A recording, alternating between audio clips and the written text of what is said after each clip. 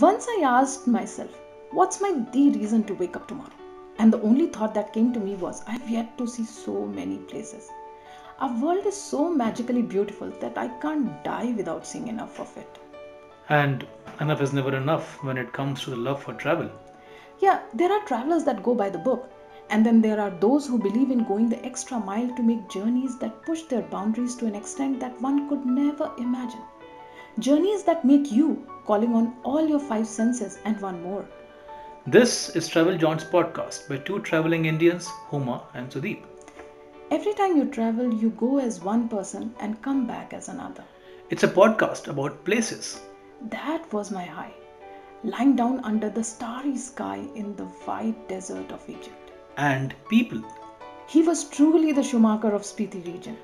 and interesting stories relevant for Indian travelers. And then this land comes out of nowhere while we sit down for our picnic lunch in Kenya. Travel Jaunts podcast. Let's talk about art and history destinations, wildlife destinations, beaches, festivals, and landscapes. Let's talk about your interests and journeys to enrich your lives. Subscribe to an Apple Podcast, Spotify, or wherever you get your podcast from.